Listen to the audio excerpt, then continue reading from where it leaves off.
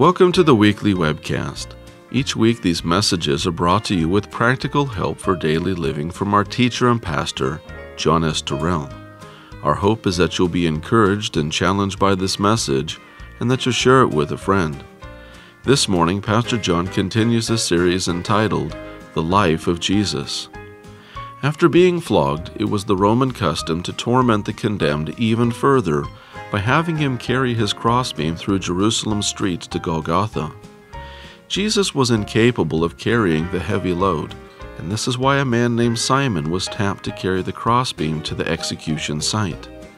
The Son of God was then stripped naked, thrown down upon the crossbeam, and a large nail was painfully driven into each hand, followed by another nail into each foot. The Jewish leadership had finally gotten their hated enemy where they wanted him and they sadistically came to mock Jesus while he hung between two criminals. The crucifixion of Jesus was not the end, but a new beginning, proving that John 3:16 is undeniably true. This message is entitled The Crucifixion of Jesus. Now, let's join Pastor John as he begins today's message.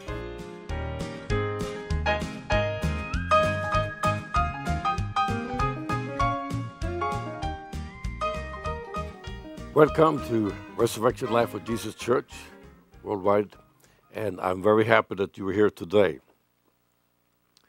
I'm going to be speaking today on the crucifixion of Jesus.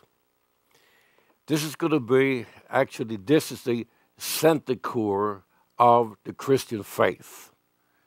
Without the death of Jesus Christ, there is no faith, there's no salvation. This is the core of the gospel. As you look upon the pulpit here today, and you've seen it many times, in front of me we have put the cross, and we put the flowers on the side of the cross.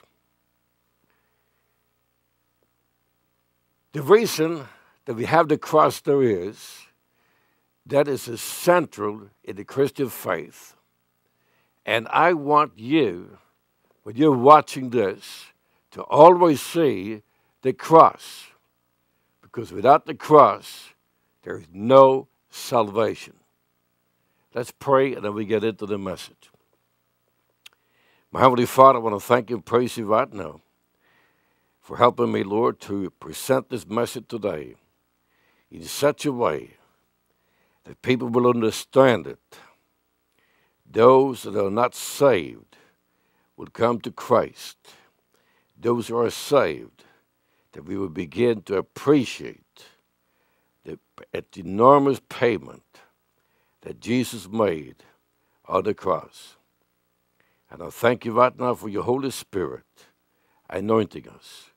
In Jesus' name, amen and amen. To start in Matthew chapter 27. And uh, I'm going to detail on this here for us.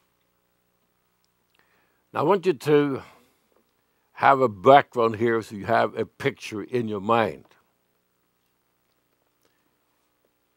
As we now are going to look upon Jesus, first he had a first beating that was less painful, but it was painful, less damaging. The second beating, he had more than 100 lashes, and his body now tremendously bruised, bleeding. And um, what I want to do now was to mock the Jesus. So let's look in Matthew chapter 27, verse number 27. Then the soldiers of the governor took Jesus to the common hall and gathered to him the whole band of soldiers, the entire garrison. And they stripped him and put on him a scarlet robe.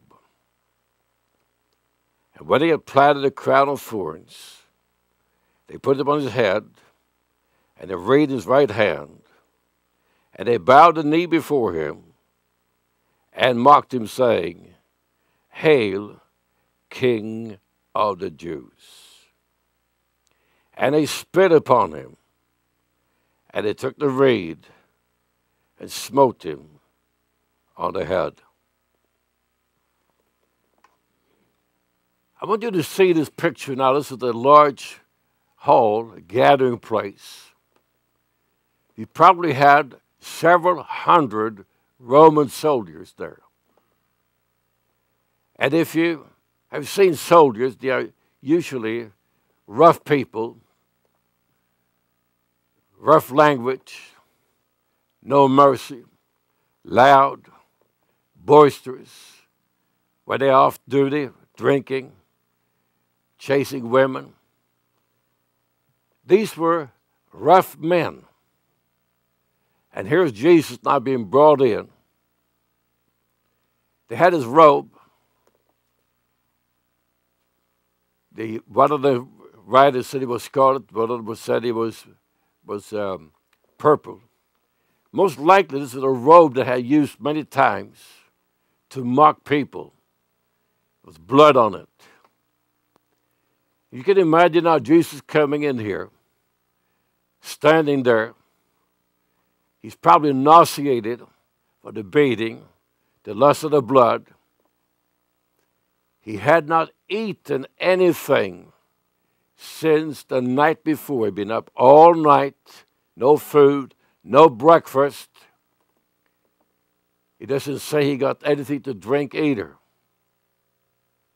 And then these soldiers put a robe on him, to have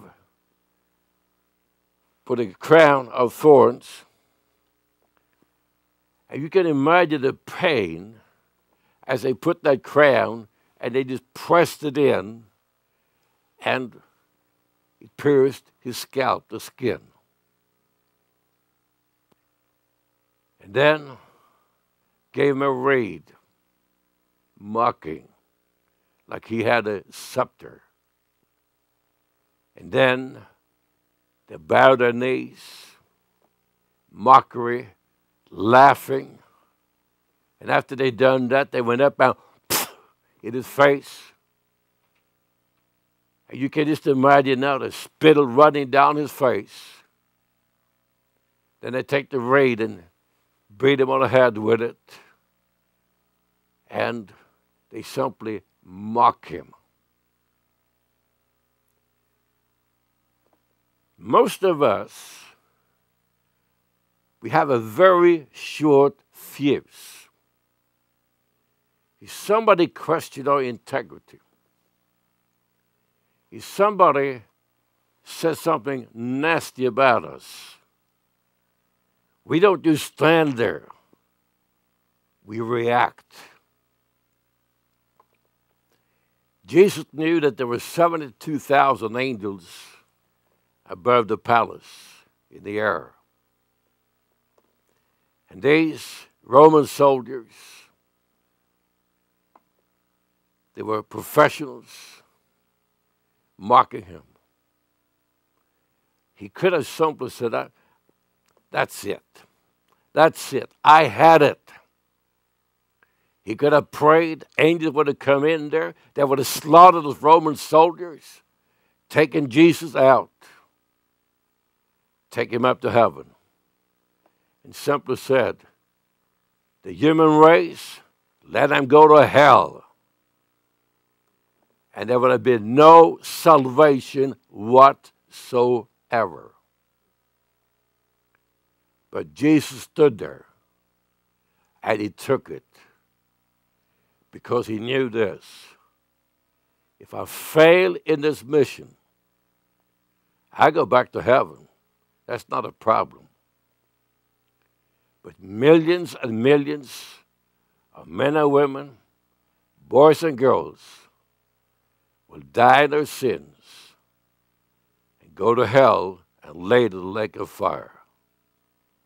And that's why he stood there and took it. I want to read the account we have in Mark chapter 15. Mark chapter 15. You know, in most churches today, they don't really have crosses anymore. They don't want to talk about the blood of Jesus. They don't want to talk about his suffering because it is offensive to people. Is offensive.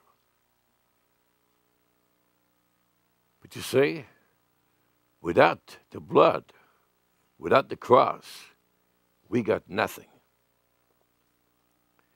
In Mark chapter 15, if you pick it up in verse number 16, and the soldiers led him away into the hall called Praetorium, and they called together the whole band. And they clothed him with purple, planted a crown of thorns, and put them about his head, and began to salute him. Hail, King of the Jews! And he smote him on the head with a reed, and did spit upon him, and bowed their knees, worshipped him. And when they had mocked him, they took off the purple from him, put on clothes on him, and led him out to crucify him. I believe that that hole was Satan himself. A number of fallen angels, high ranking rulers in the kingdom of Satan. They have been ruling before over solar systems, galaxies, before the war, and they were kicked down to the earth. And I believe that Jesus could see them with his spiritual eyes. And they were laughing from ear to ear, pointing at him and saying, The Creator, God Himself, you're going to take this? What's wrong with you? Why don't you show some emotions? I believe that the spiritual torment was probably worse than the physical torment. How many of you have had spiritual torment? Somebody dies, you have grief, something happens, you lose a job, whatever it is. And are thoughts coming in, condemning you. Should have done this, should have done that. What's wrong with you? No one is like you. People wouldn't know how you really are inside, they would never talk to you again. Spiritual torment. And Jesus stood there and he simply didn't say anything. But inside he knew this. Your time is coming, devil. I'm going to wring your neck. Don't worry about it. But right now, I have to be humiliated. I have to be humiliated. Then we had the slow walk to Golgotha. The custom that the Romans had in Jerusalem was that the cross, the vertical part of the cross, was already at the place of the execution. And um, a whole cross would, would weigh about 210 to 230 pounds. And the crossbeam is estimated to be about 70 to 90 pounds. So they had a crossbeam. It still is the cross, it's part of the cross. And I want you to see this Jesus now bound he can't wipe his face. You know how bad it feels if you get wet in your face. You know, you kind of want to dry it off. If it is spittle, it's even worse. He was tied, couldn't wipe himself off. They took him out. Had pain. Then they had this crossbeam, laid it on his shoulders, with his hands back to hold it. His back hurting. He got a crossbeam on it. And then they told him, Get up! Get going, man! No mercy. There he is, walking away from the palace to the place of the crucifixion. The gospel does not say that Jesus stumbled, but we do know this that they hijacked Simon of Cyrene and had him to carry the cross. Let's read these scripture references here because I want the scriptures to talk to you and me. Matthew chapter 27 and verse number 32. Matthew 27 and verse number 32. And as they came out, they found a man of Cyrene, Simon by name. Him they compelled to bear his cross. Most likely, when he put the crossbeam on Jesus, he probably just collapsed. He fell down. And they realized he's not going to carry that up there. We got to get somebody else. In Mark 15 21, it's the Gospel of Mark 15 21. And they compelled one Simon the Cyrenian. Cyrene today is known as Libya, the country next to Egypt. And they compelled one Simon of Cyrenian, who passed by coming out of the country, the father of Alexander Rufus, to bear his cross. And then we read from Luke 23 26. That's Luke 23 and verse number 26. And as they led him away, they hold upon one Simon the Cyrenian, coming out of the country. On him they laid the cross, that he might bear it after Jesus. The Roman soldiers took that crossbeam put it on his shoulder, put his hands up, and said, You carry that. Simon had not planned to do this. This is part of the Roman law that said that any Roman soldier officer could compel someone to go a mile, and they had to obey. And then in the Gospel of John, chapter 19, the Gospel of John, chapter 19, verses 16 and 17. Then delivered him therefore to them to be crucified. And they took Jesus, led him away. And he, bearing his cross, went forth into the place called the place of a skull, which is called in the Hebrew Golgotha. In Luke 23 32. At Luke 23 32, we get another piece of information. And there were also two other malefactors led with him to be put to death. Now, the Romans were not like we are here in the United States where we execute the prisoner. In the United States, it's very sterile. You have the person on a gurney. Curtains are closed, and they bring him out. They strike him to the gurney. They put in an IV. Now they're using drugs to kill them with. And when everything is said and done, the person lays here like they're strapped, can't move.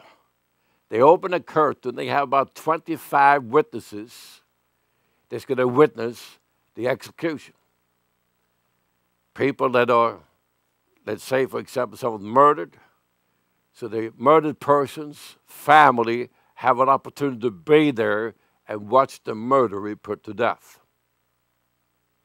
Now, as the curtain is pulled, people are watching this man laying there, and they can see his mouth maybe moving. He said something.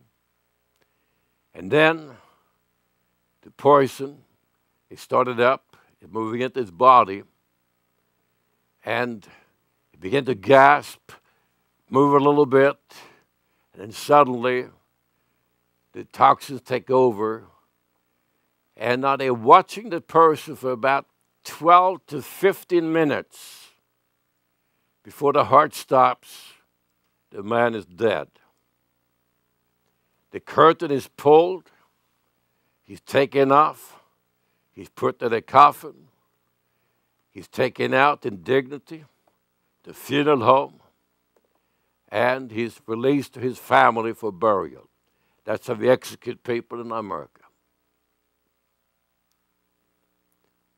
In Jerusalem that time, they wanted the population to see the glory of it. They wanted to put fear into the population. They wanted to see you cross the Roman Empire and we will deal with you harshly.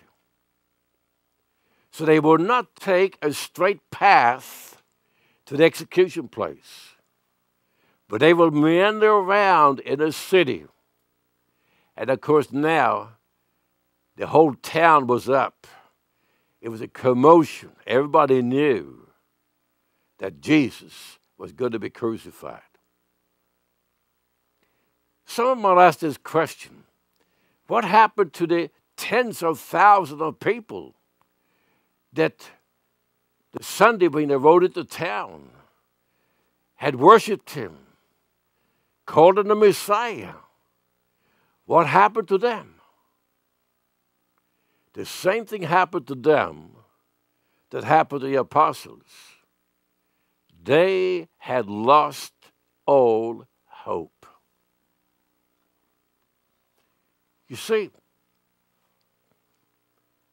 the Jewish people at that time had been told the Messiah is going to be powerful. He's going to have supernatural power. He will be able just with his hand, just stretch it out like this. And Roman soldier will die. He's going to kick the Romans out. He's going to restore the kingdom to Israel. And he's going to reign in power. That was a mindset of all Jewish people. That's why those tens of thousands of people, they said, he was not the Messiah. Look at him. He has no power. They beat him. He's going to die. We were fooled. Turn with me to 1 Corinthians. This is a bonus scripture. 1 Corinthians chapter 2. And I'm going to land in verses number 7 and 8. That's 1 Corinthians chapter 2, verses 7 and 8. But we speak the wisdom of God in the mystery, even the hidden wisdom which God ordained before the world unto our glory, which none of the princes of the world knew. For had they known it, they would not have crucified the Lord of glory. The atonement that God was going to reconcile the human race to himself was not known. There were hints of it in Isaiah. But no human being knew how God was going to pay for the sins. They did not know that. Neither did Satan. Satan thought that Jesus was here to do something, but if he could kill him, he would stop the plan. So that's why the knowledge was not given to the apostles, nor to the people that followed not even to the, the women that were close to him. None of them knew. They thought on this day when Jesus was paraded through the city of Jerusalem, they thought it's not real. He's not the Messiah. We wasted three years. We were fools. They were crushed. They were depressed. They couldn't believe it. And Satan was laughing. His fallen angels, the demons saying, That's right, folks. He ain't the Messiah. And we're going to kill him now. It's over. You don't have any redemption. The Bible is not true. The prophecies was not true. We just proved it to you. And that's why they walked him slow out to Golgotha. Straight up, straight down, meandering so that people could see how beaten he was, how much pain he had, struggling, prodding, and he finally came to Golgotha.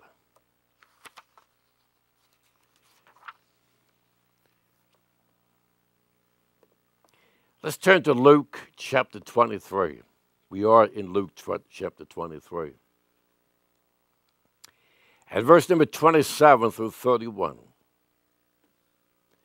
And there followed him a great company of people.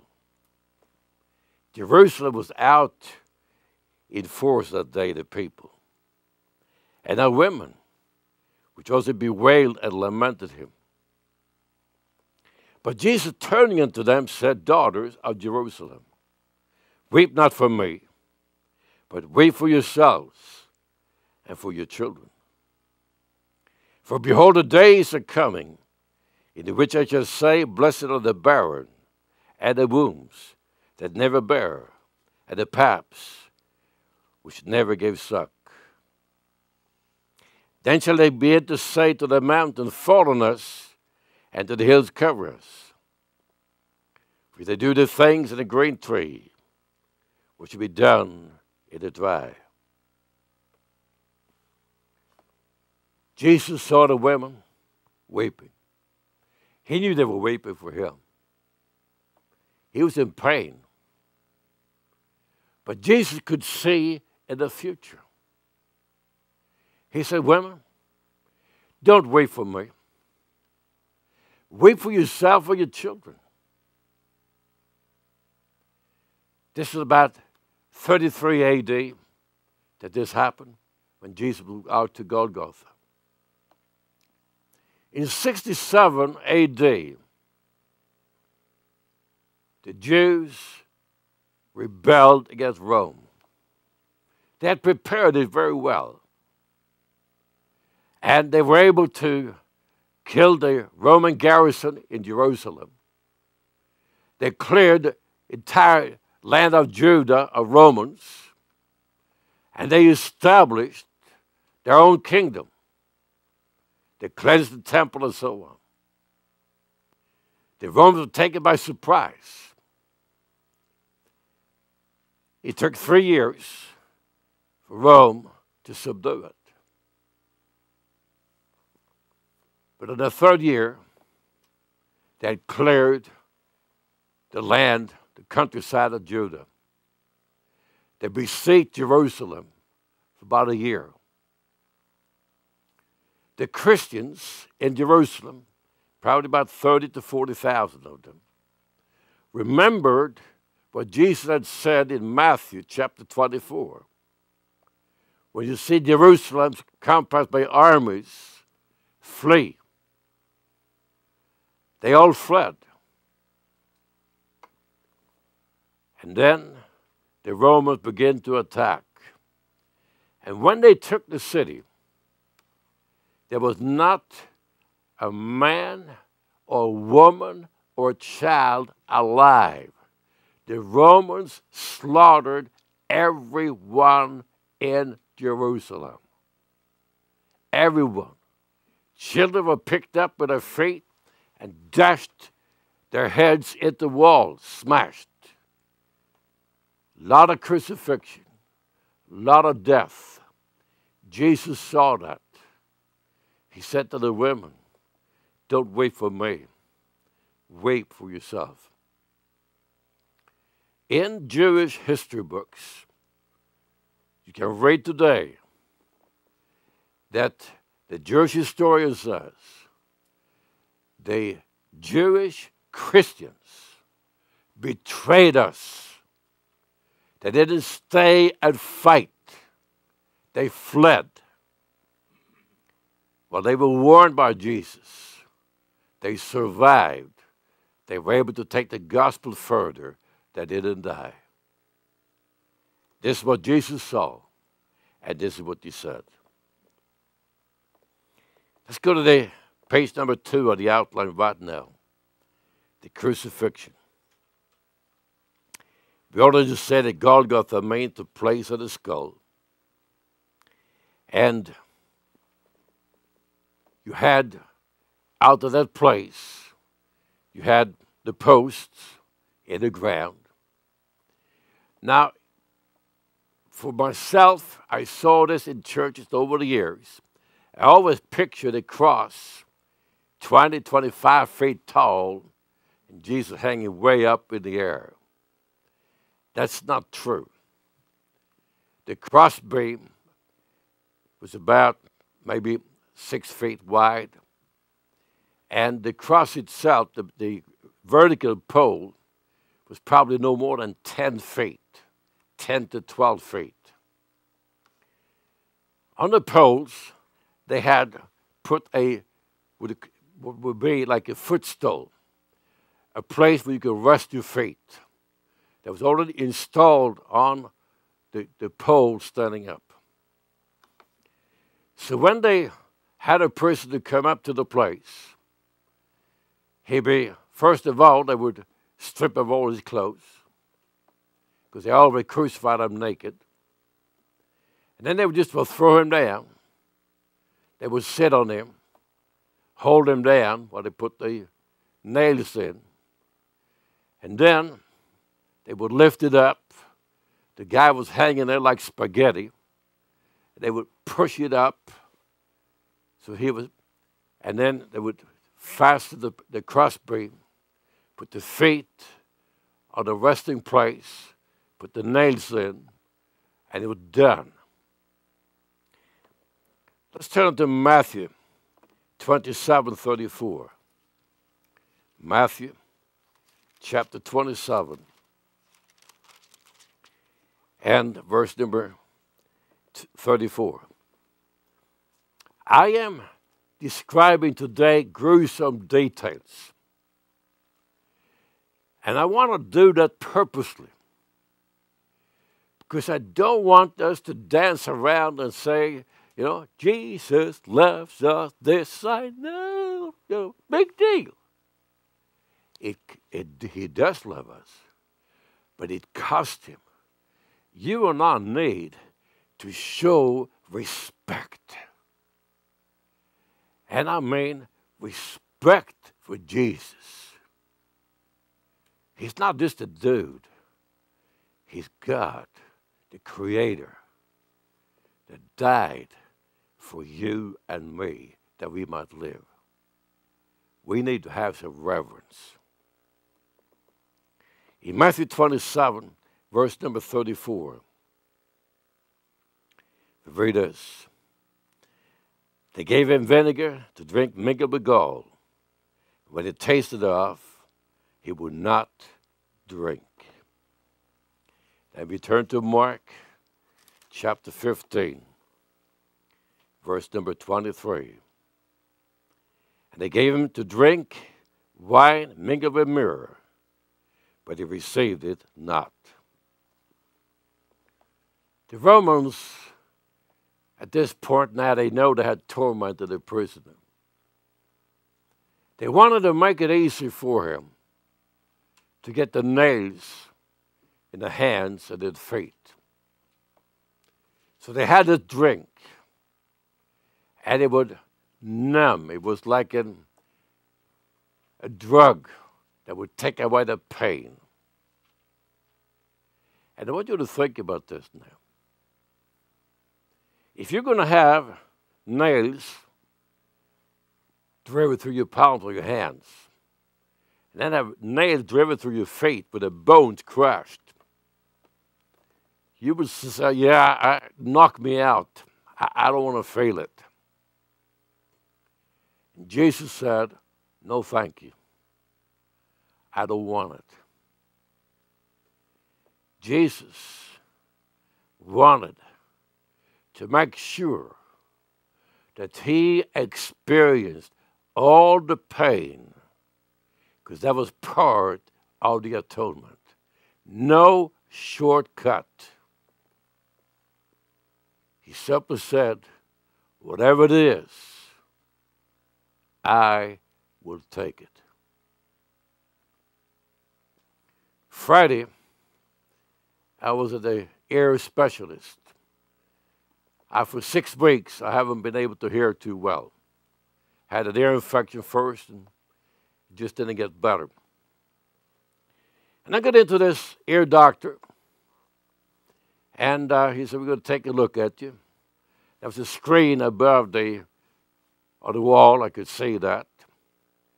And um, he had a camera and a light, and I could see my ear. I could see the eardrum. And he told me this, and he said, You know what? He said, You have a lot of debris in here.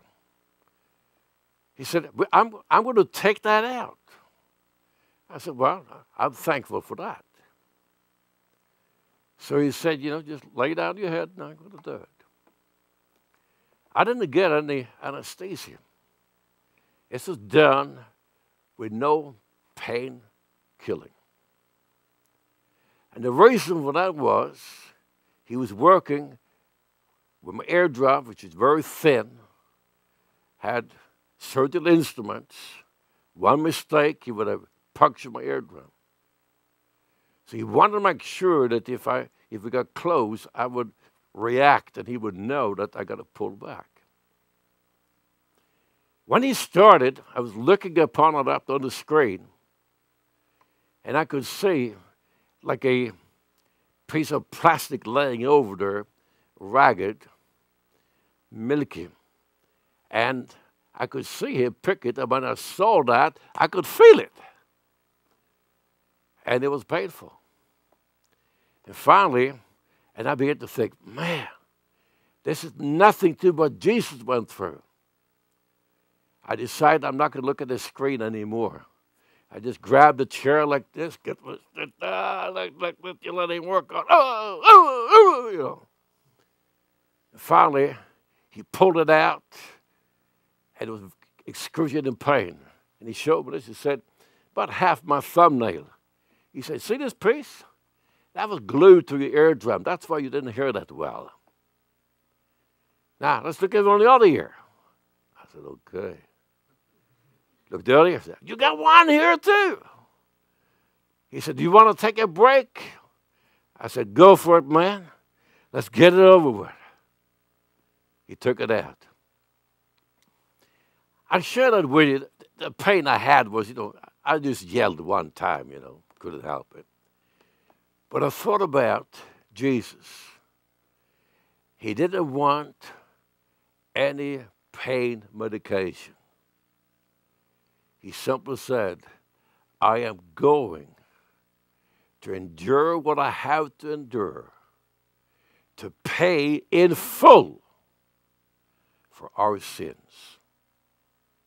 Next week, we're going to talk about the atonement.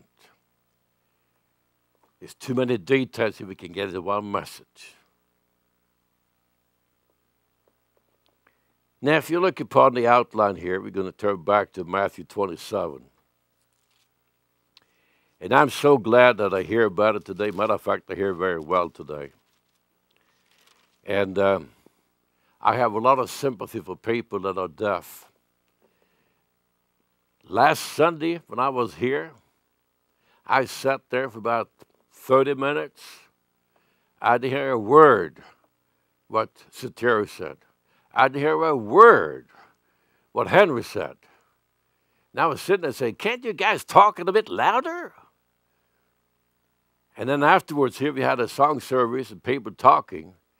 And I didn't hear a word what you guys said last week. I was in La La Land. I mean, I was gone.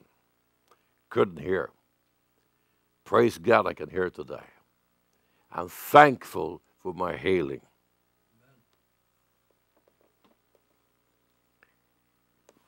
Jesus, now I want you to see this now.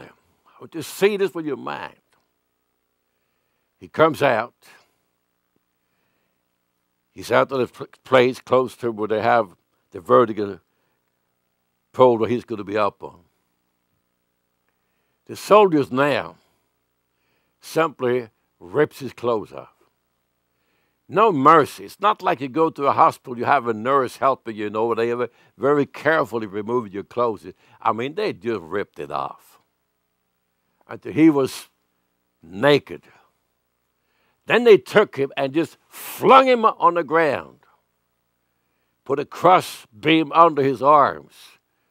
Some soldiers sitting on his legs, others just stretching it out like this. And their thinking was, and now the crucifixion, let's get it over with. Let's get this sucker up on the cross. Let's have him killed.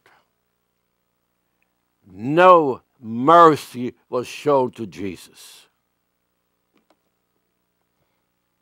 Matthew 27 35. And they crucified him and parted the garments, casting lots, that he might be fulfilled which is spoke about a prophet. They parted my garments among them, and upon my vesture did they cast lots. Those nails were not like we have today. You have nails that you have for framing, now you have finishing nails. They were crude, they were not smooth. And you can imagine soldiers sitting on this, holding down his hand like this, and one standing there, just put it down and start plugging it in. It must have hurt. Jesus must have cried when that nail went in. The worst were the feet, because now you're crushing bones. At the same time, you're pushing that in there. They didn't care. He was never going to walk again, as far as they're concerned. He was done. Mark 15 24. Mark 15 24. You read this. When they had crucified him, they parted his garments, casting lots upon them, what every man should take. Can you see Jesus now? He didn't have any money. He had now some underwear. He had a robe. The last possessions he had. And they stripped it of him. They cast lots. They thought it was something they would like to have. They were greedy soldiers. John 19. John chapter 19.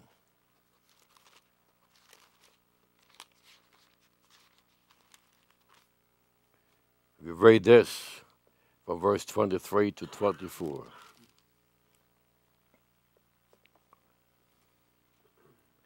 Then the soldiers, when they had crucified Jesus, took his garments and made them four parts, and to every folded apart, and also his coat. Now the coat was without seam, woven from top throughout. They said therefore among themselves, Let not rend it, but cast lots for it, whose it shall be, that the scripture might be fulfilled, which says, They parted my raiment among them, and for my vesture did they cast lots. These things, therefore, the soldiers did. I believe that after Jesus had been taken down for the cross, the soldiers had gone back to Jerusalem to their barracks. And They were carrying the clothing garments from Jesus. I believe that they did not do very well. I believe there was a curse upon them. I believe they wished they would have never taken that stuff. You cross God, there is judgment. Let me take it to Luke chapter 23 right now. Luke 23.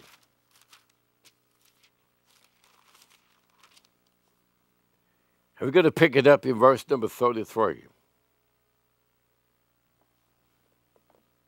And when they were come to the place which they called Calvary, there they crucified him, and the malefactors, one on the right hand and the other on the left.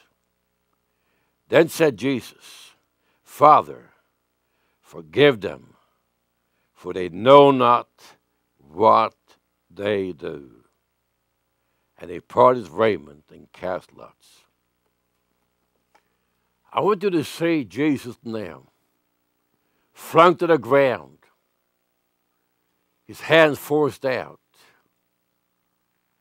And as they begin to drive the nails in, he says, Father, forgive them, for they don't know what they are doing. And that is true. You and I, our temper has a very short fuse. We, it doesn't take much to set us off and tell people to go to hell, drop dead, do whatever we tell them. Have you got to recognize now that Jesus looked at these Roman soldiers? He knew they were lost. He knew that they probably could be saved later on. Some of them, after he had died, they said, Truly, this was the Son of God. Some of them probably did believe. But I want you to see the mindset of Jesus. He said, Father, forgive these men. They don't know what they're doing. And I'm thinking about this nation. This week, we saw again tremendous judgment upon partially Texas and some other state, Louisiana, part of it. Three feet of water. And you know, I don't hear any pastor getting up in the pulpit. I don't read about charisma. But he simply said, you know, there's a judgment. We need to repent. You and I do not have the capacity to repent. It's a gift of repentance. If the Holy Spirit does not convict us, we can't convict ourselves. When people are sinning and they, they don't think about it, they cannot say, oh, oh, I'm sinning right now. I, I need to repent. No, you don't think that way. You and I don't have the capacity to repent. It's the Holy Spirit. And if the Holy Spirit does not move upon pastors and Christians in this nation, there's not going to be any repentance. Jesus knew with his Roman soldiers, they did not know what they were doing. Let's look in Psalm 22, 17. That's Psalms 22.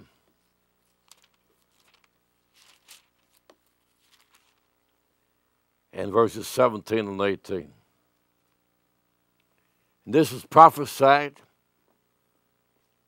by King David. I might tell all my bones, they look and stare upon me.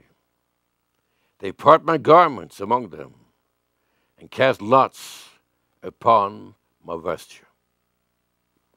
There was a number of things prophesied that would happen as Jesus was going to pay for the sins of mankind.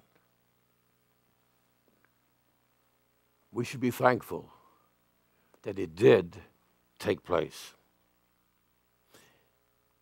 We're going to go back now to Matthew 27. That's Matthew chapter 27.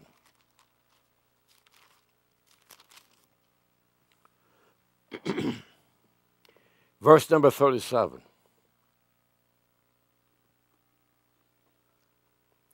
And set up over his head his accusation written, This is Jesus, the King of the Jews. Pilate must have been out at the execution place. In Matthew 15 26, excuse me, Mark 15 26, read the same thing. That's Mark 15 26.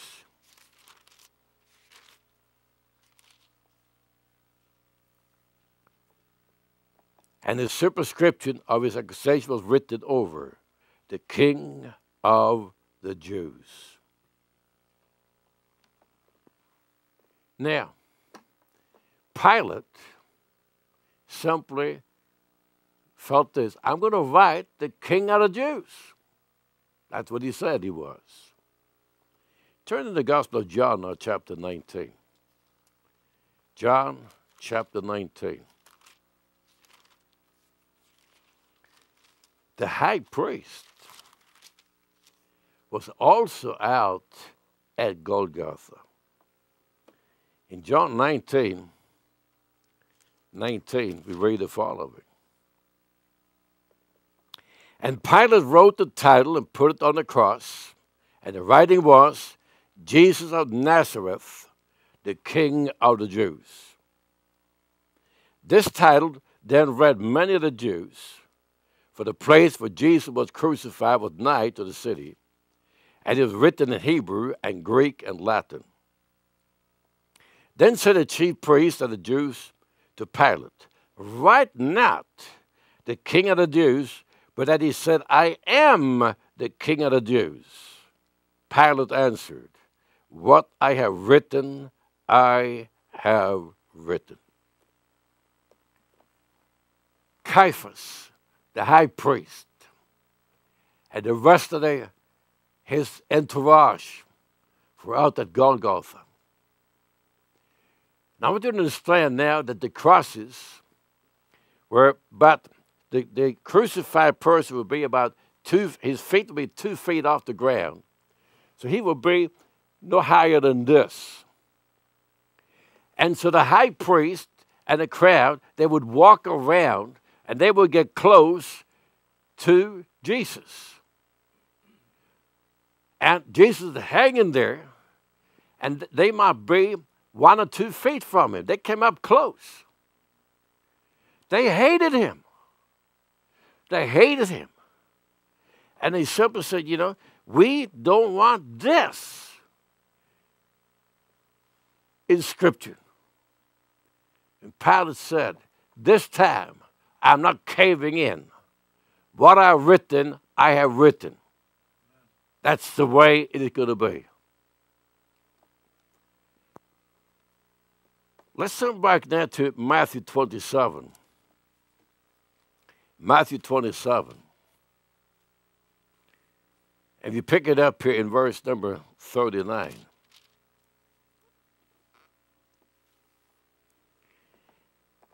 And they that passed by reviled him, wagging their heads. Picture this now. Here's the cross of Jesus. Here's a cross of the faith, another one of that faith. And the whole thing might be 10, 12 feet wide. And now they're coming up and they're walking by, one by one, looking at Jesus right in his face, mocking him. Not one person, but many. Just a procession going there. And as they passed by, reviled him, and they said, Oh, wagging their heads and saying, You that destroys the temple and build in three days, save yourself. If you be the Son of God, come down from the cross. Likewise, also the chief priests mocked him, with the scribes and the elders saying, The Jewish leadership are there, the scribes, the elders, Pharisees, chief priests, the Herodians, they were all there. A final mocking. And they sealed their fate at that point when they mocked him. If they would have known that Jesus hanging there on that cross was paying for the sins of the human race, they would have fallen to their knees and said, We were wrong. But Satan had blinded them. They could not understand that. So that was the last time Caiaphas looked Jesus in the eyes and mocked him. Jesus looking back at Caiaphas, saying nothing. He saved others. Himself, he cannot save. If he be the king of Israel, let him not come down from the cross, and we will believe him. He trusted in God, let him deliver him now, if you have him. For he said, I am the Son of God. Look at the dig in verse 43. They told Jesus this If you are the Son of God, if God wants you, for he said, I'm the Son of God. That was a bit hard Jesus. The pain, the bleeding, struggling to breathe, standing up and down, and then have this yo-yo, the high priest coming by, standing there in his hat, stuff whatever he had, and saying, you know, hey, you, if you were the Son of God, you could have come down now. Jesus could have, if he would have been like us, he would say, God, sap him right now. And he would have been toast. But Jesus said nothing. Let's turn to Mark 15 29. Mark 15 29. And they that passed by railed of him, wagging their heads, and saying, Ah, you that destroyed the temple and built it in three days, save yourself and come down from the cross. Likewise, the chief priests mocking with it said among themselves with the scribes, He saved others, himself he cannot save. Let Christ, the King of Israel, descend now from the cross, that we may see and believe. And they that were crucified with him reviled him.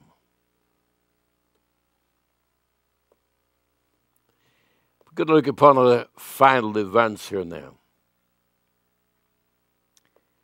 So in Luke 23, 39. Luke chapter 23, 39. And one of the malefactors, which were hanged, railed on him, saying, If you be the Christ, save yourself and us.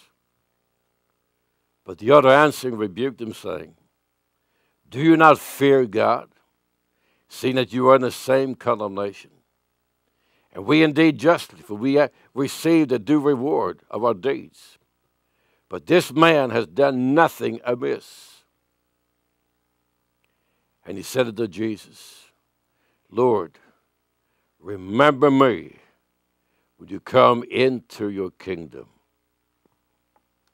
Most likely, this thief had heard some teaching from Jesus.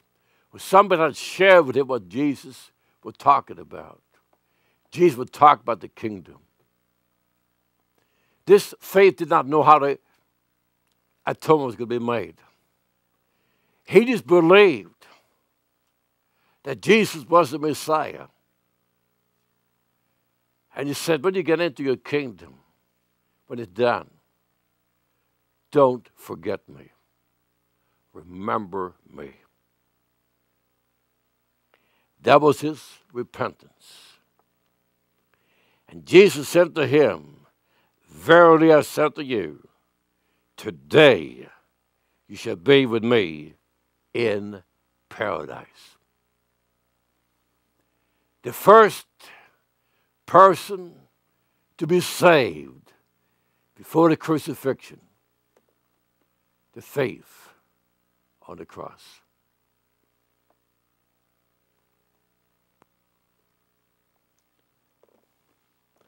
In Isaiah chapter 53, verse number 12, we have a prophecy that I want to read. That is Isaiah chapter 53. And we're going to pick it up in verse number 12. Isaiah 53 12. And that's prophesied that he would be killed among the criminals. Therefore, will I divide him a portion with the great. Shall divide a spoil with the strong. Because he has poured out his soul to death. He was numbered with the transgressors. And he bare the sin of many, and made intercession for the transgressors. Jesus was counted as a criminal. I want us to look at now in John 19:25. John 19:25. Jesus cared about his mother. Joseph was dead. He's been, he's been gone a long time. He's not mentioned in the Gospels after the, the early days of Jesus. And in those days, a woman would have a hard time to make a living in the society, In roman Empire and with, with the Jews. And I want you to see the love of Jesus. In John 19, verse number 25, we read this. Now Not stood by the cross of Jesus, his mother, his mother's sister Mary, the wife of Cleophas, and Mary Magdalene. Picture the cross now very close to the ground. And here is Jesus' mother Mary and the other women standing very close. The Apostle John had come up at this time, also standing there next to Jesus' mother. When Jesus therefore saw his mother and the disciple standing by, whom he loved, that's John, he said to his mother, Woman, Behold your son. Then said he to the disciple, Behold your mother. And from that hour, the disciple took her unto his own home. Last act of love. Jesus knew, I got to take care of mom. So he looked at his mother and said, You see, John, that's your son. John, you see, Mary, that's your mother. And from that day on, the Apostle John cared for Mary until she passed away. An act of love by Jesus. Now we're going to look in Matthew 27. Matthew chapter 27. God was now going to start the judgment of Jesus. Matthew 27 at verse number 45. Now, from the sixth hour, there was darkness over all the land unto the ninth hour. Jesus was crucified at noon. He died at 3 p.m. Three hours on the cross. Both Matthew, Mark, and Luke record at darkness. It got pitch black at Golgotha. And the reason for that was that God now was going to come in and start judging Jesus. Jesus now was a substitute. I'm going to speak on this next week the atonement. But people were not allowed to see what happened to Jesus. The beating was bad. But in the nails, it was horrible. Hanging there was bad. But it was nothing to the wrath of God that for three hours would go wave after wave over Jesus. The wrath of God. And God simply said, This is no man go to see. And he put darkness on Golgotha. In the Gospel of John, chapter 10, it's the Gospel of John, chapter 10. Jesus made the following statement John 10 10. Excuse me, that's not what I want to go. Uh, I got a little bit confused right now. John 10 17. Excuse me. Therefore, does my Father love me, because I laid down my life that I might take it again. No man takes it from me, but I lay it down on myself. I have power to lay it down, have power to take it again. This commandment have I received of my Father. As Jesus was hanging on the cross, he was not going to die from the wrath of God. He was not going to die for the wounds of the cross and hanging there. When it was finished, he gave up the ghost. He simply stepped out of the body. He had power to do that. He left his body hanging on the cross, dead. Then Jesus went to be in paradise. Matthew 27 46. Matthew 27 in verse number 46. And about the ninth hour, Jesus cried with a loud voice, saying, Eli, Eli, lama sabachthani. That is to say, My God, my God, why have you forsaken me? For three hours, he was separated from God.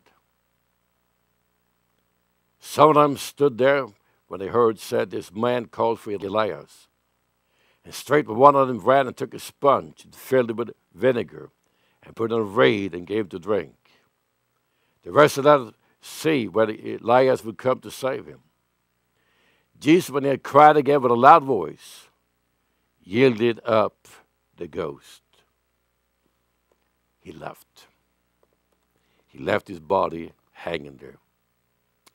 Mark 15.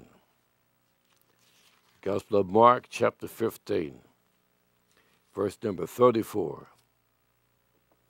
And at the ninth hour, Jesus cried with a loud voice, saying, Eli, Eli, lama sabachthani, which is interpreted, My God, my God, why have you forsaken me? And someone stood by when I heard and said, Behold, he calls Elias. One ran and filled a sponge full of vinegar and put it on a reed and gave him to drink, saying, Let alone, let us see when Elias would come to take him down. And Jesus cried with a loud voice and gave up the ghost. And then Luke 23 46. At Luke 23 46.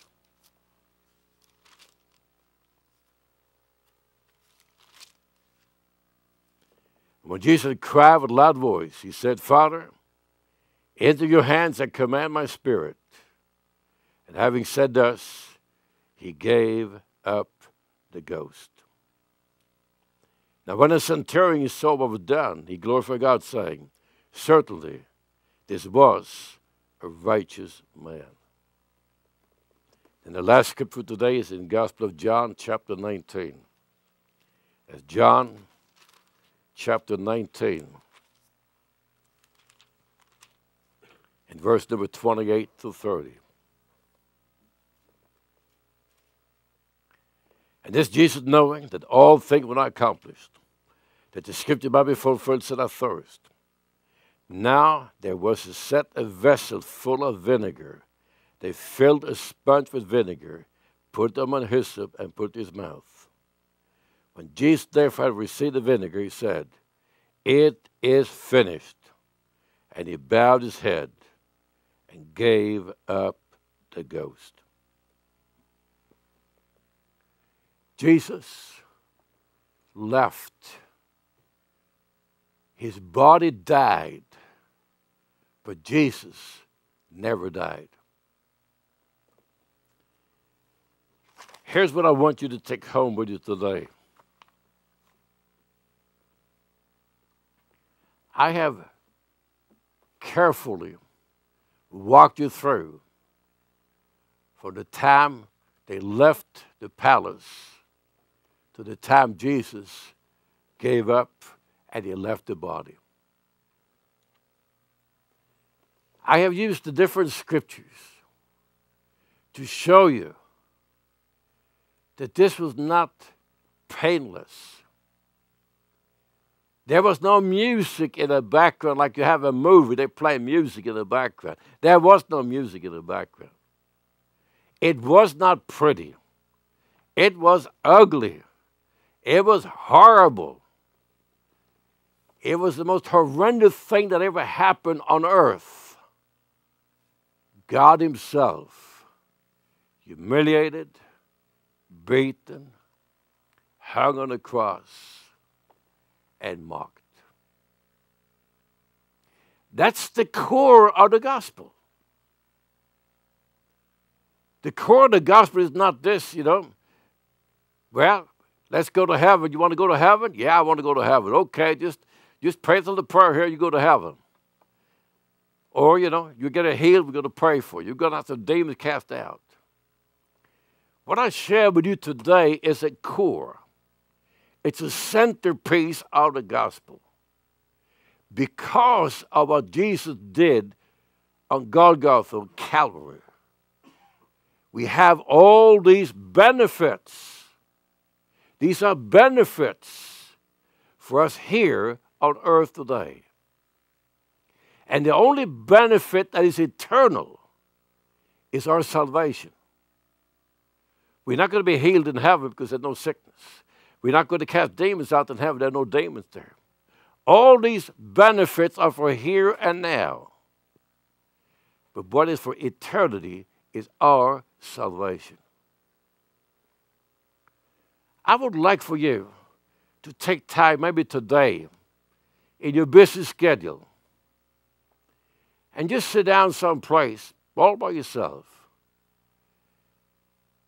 and think it through what happened on Calvary. And then take an opportunity to say, Jesus, I have said many times, thank you for my salvation, thank you for my salvation. But I really never have understood the depths of what you paid. And now, having read all these scriptures, I understand it was a very, very hefty price. Very. And Lord, forgive me for my disrespect over the years, taking Christianity for granted, sinning like nothing, and not realizing what you did, who you are and what I should think and show respect. That's what I want you to take home today. Be happy that you're saved, but that you say, Jesus, and now show me in my soul and spirit how much it cost you.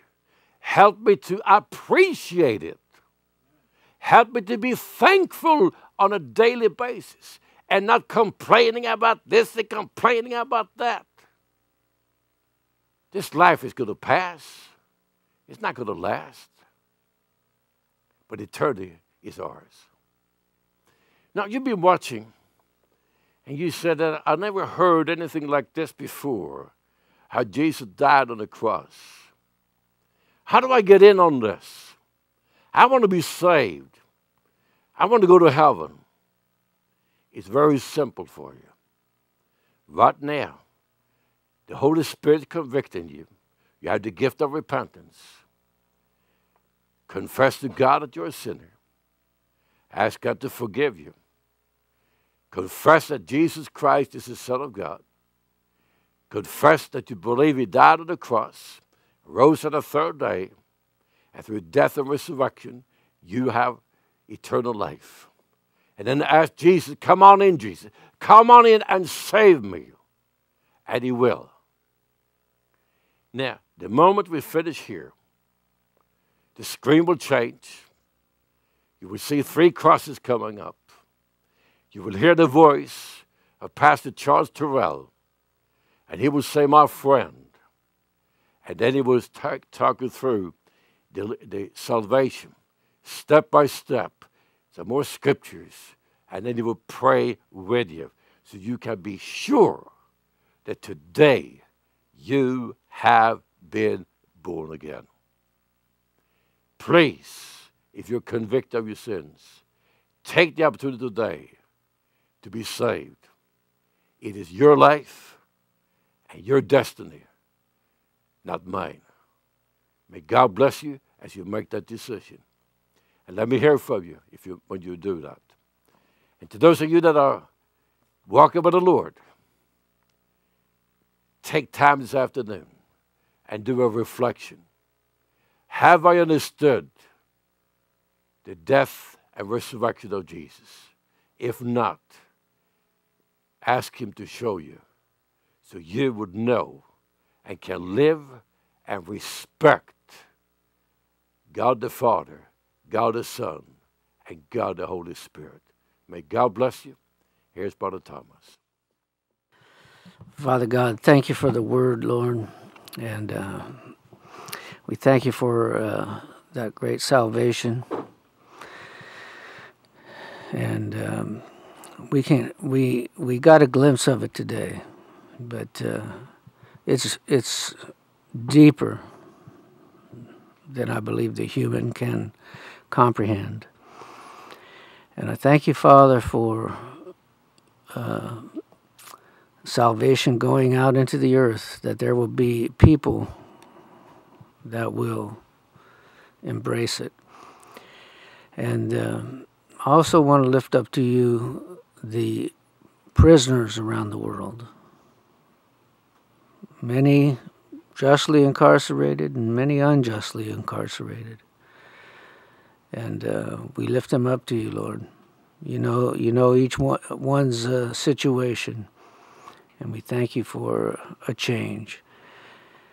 And uh, we just praise your name. We thank you that we have uh, the glorious gospel that has been shined on us. In Jesus' name we pray. Amen.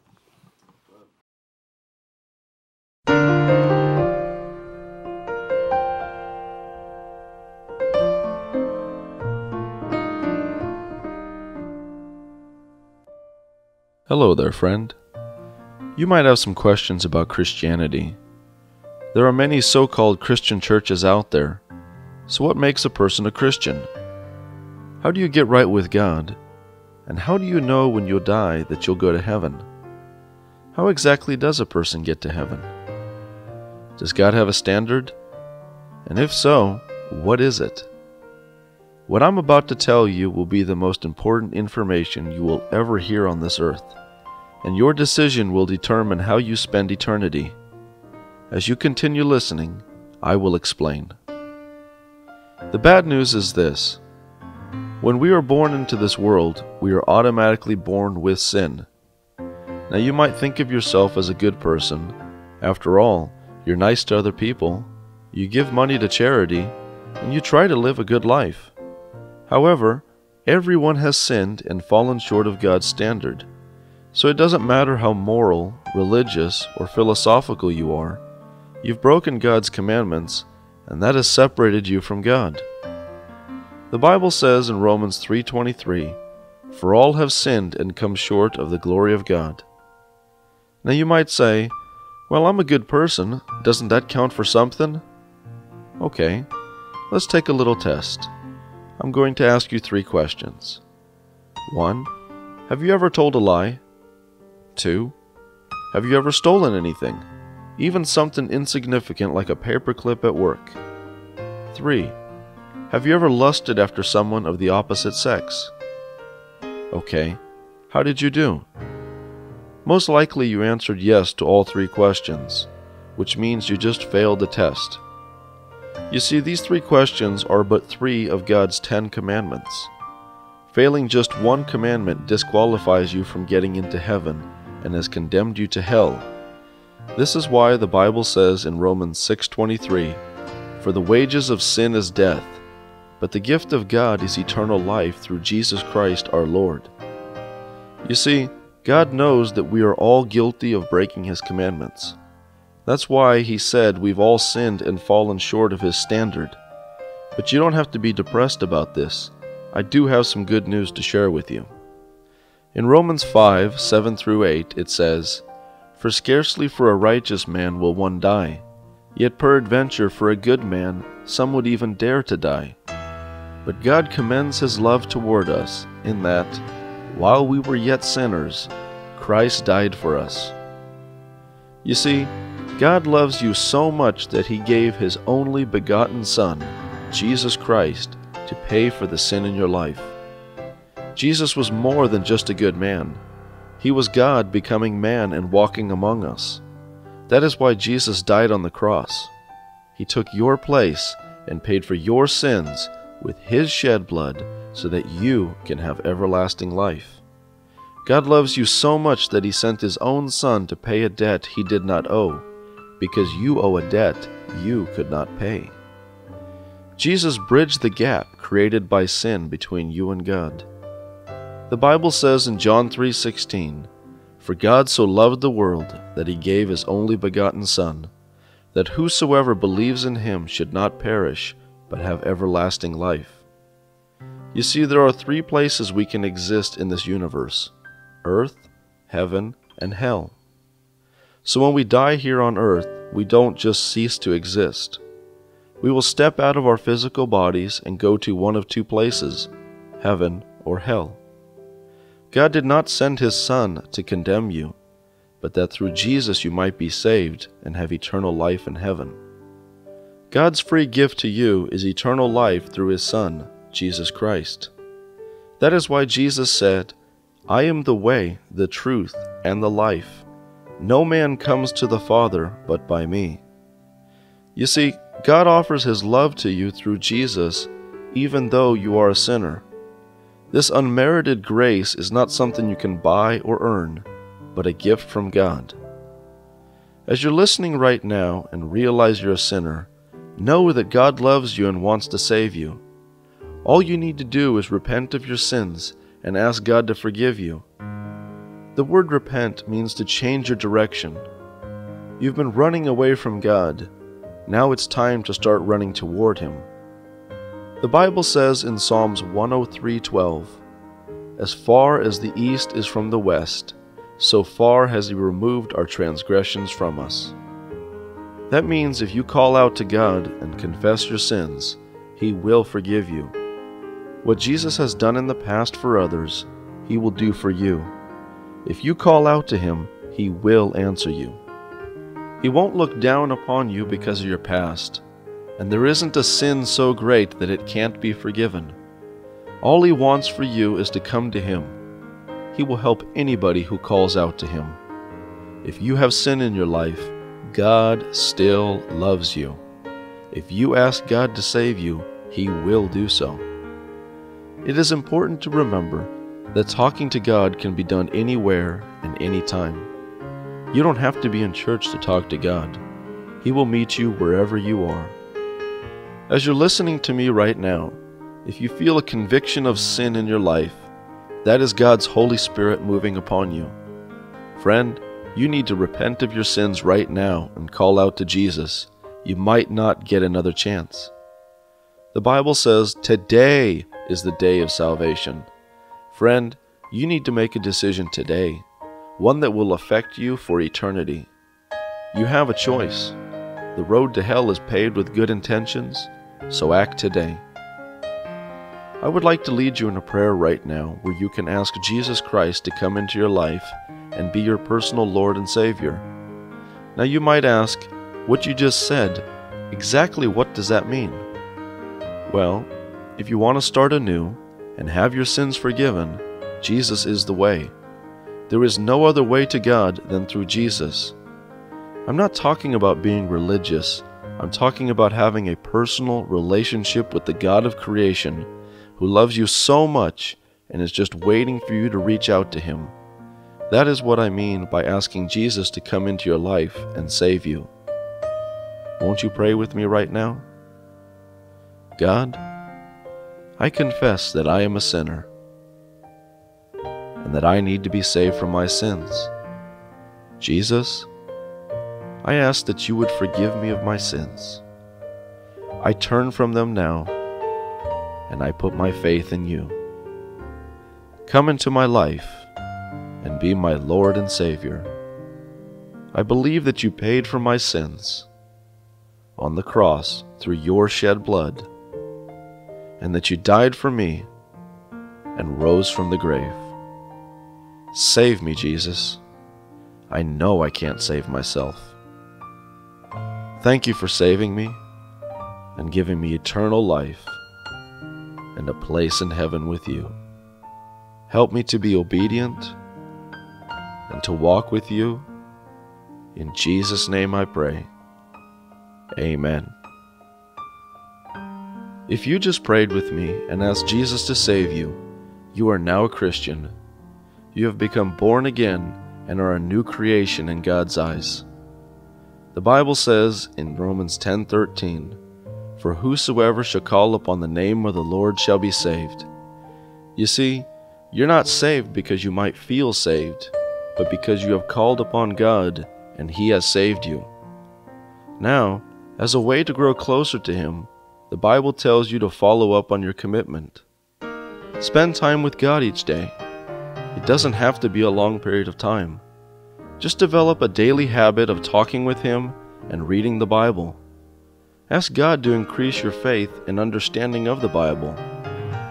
Also, find a local church where you can worship God and seek fellowship with other Christians to answer your questions and support you.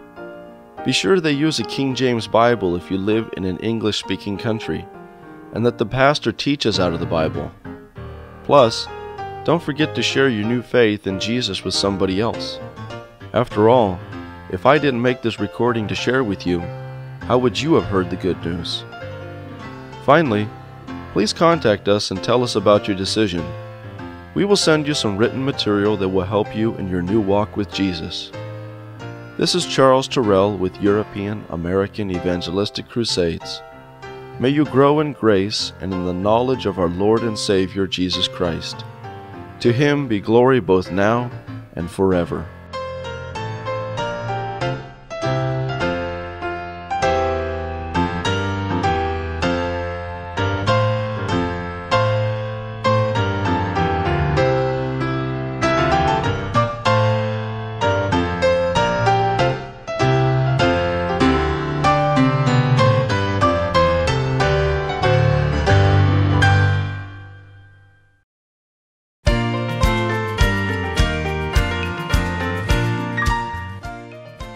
Have been listening to the weekly webcast of Pastor John S. Torell.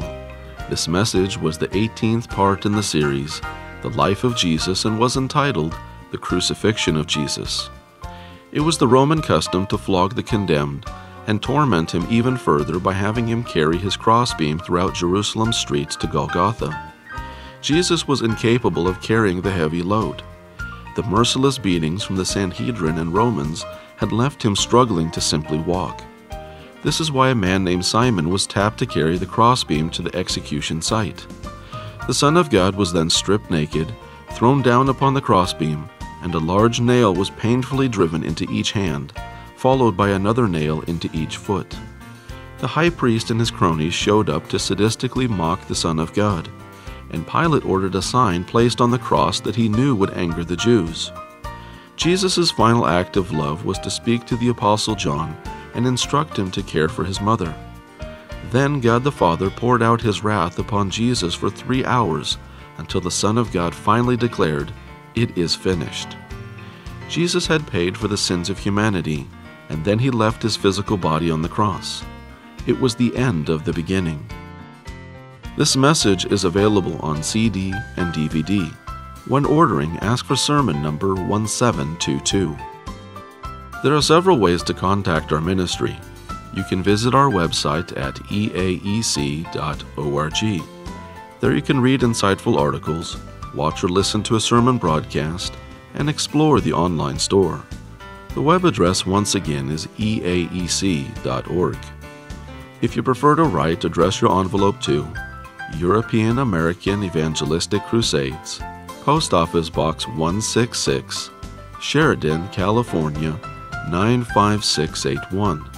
That's Post Office Box 166, Sheridan, California 95681. If you prefer to call us, the number is 916 944 3724. That's 916 944 3724. Resurrection Life of Jesus Church is sponsored by European American Evangelistic Crusades, and this has been a production of EAEC. Thanks for joining us today, and until next time, may God richly bless you as you read your Bible and walk with Him.